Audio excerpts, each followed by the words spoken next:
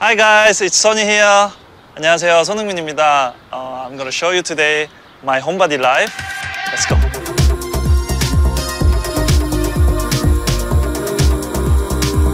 어, 스케줄 없는 날엔 뭐 그냥 거의 집에만 있는 것 같아요.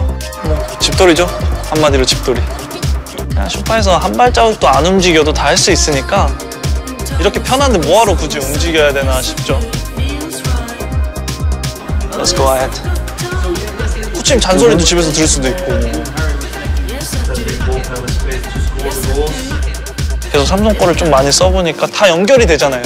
설정으로 맞춰놓으면 뭐 에어컨이나 뭐 냉장고나 뭐 이런 제품들이 딱 절약하게 되고 집안일에 얘네가 좀 너무 진심이라서 제가 뭐 해야 될 게 없어요. 게임할 때도 분위기를 좀 바꿔가가지고 더 몰입하려고 하는 것 같아요.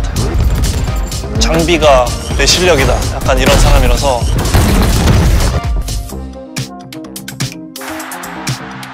아 저는 친구들이랑 축구 볼 때는 모여요. 랜선으로. 네. 저한테 스마트 띵스란 연결돼서 엄청 편하고 그런 건데 되게 쉬운 거니까 설명도 그냥 쉽게 It's easy. Smart things.